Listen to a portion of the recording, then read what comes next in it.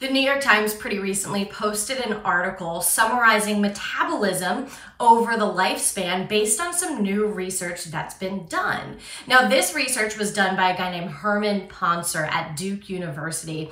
And what he did is collect all of this different data from 40 labs across the country using doubly labeled water technique, which is considered the gold standard for measuring resting metabolic rate and then figuring out total daily energy expenditure.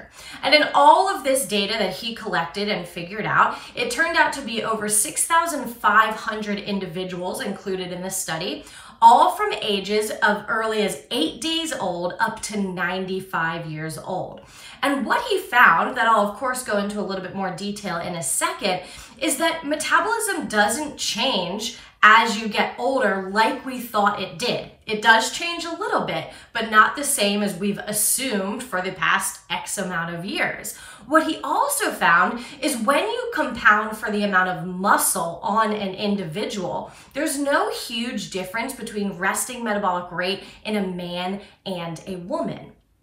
So what the study does address is that we know that with someone in a larger body versus someone in a smaller body are likely going to have a different metabolic rate purely based on size. We also know that in many cases, someone with more muscle mass will probably have a different metabolic rate. But the point of this study was actually to compound for those factors and try to figure out what someone's just baseline energy expenditure would be without that additional muscle, trying to really figure out like just what your organs need at rest, right? So really important for what this person's body would need doing absolutely nothing. So they did have data on height, weight, and body fat percentage, and again, tried to compound for that information. And when they did that, they found that metabolism had four distinct stages throughout life.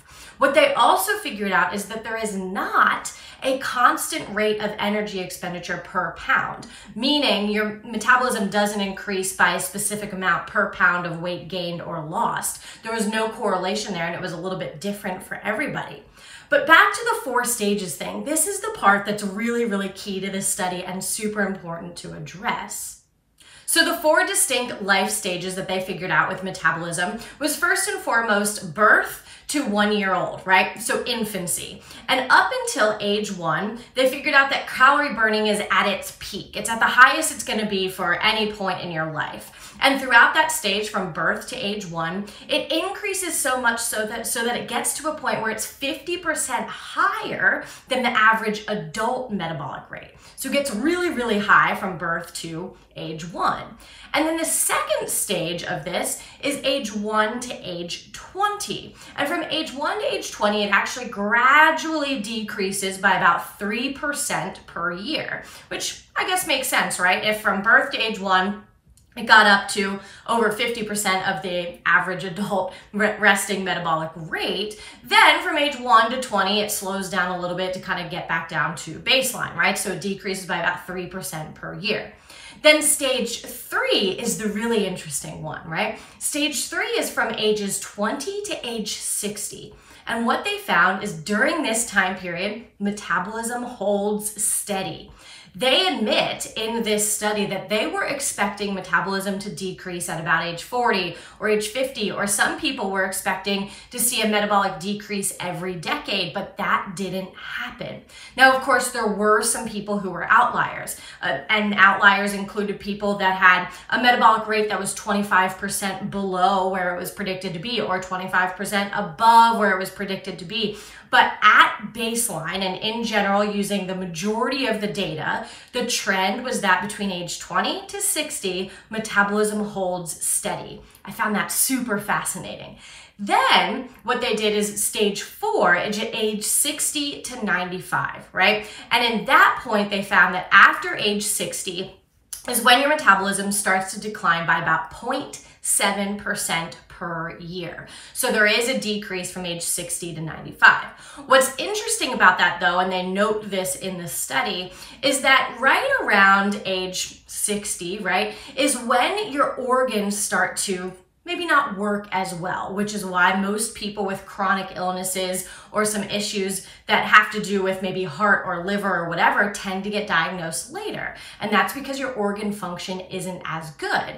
The reason I'm pointing that out is because organ function can contribute to about 65% of what your resting metabolic rate is. So they were thinking in the discussion of this study that maybe the reason that metabolism is dropping by 0.7% per year from age 60 to 95 is because of that decrease in organ function as an individual gets older.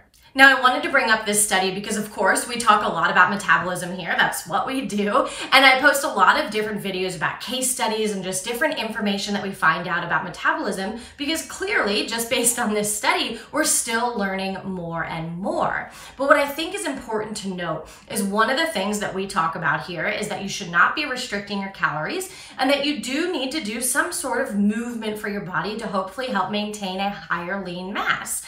Doing both of those things, maintaining that higher lean mass by moving your body and fueling your body enough, is likely going to help prevent you from becoming one of those outliers. We don't want you to be someone who comes up with a metabolic rate who's 25% lower than where it should be.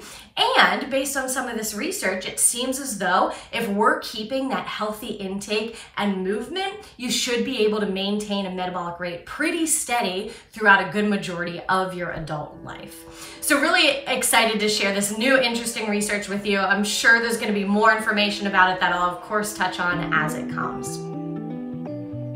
Thanks for being here, guys. Don't forget to like and subscribe.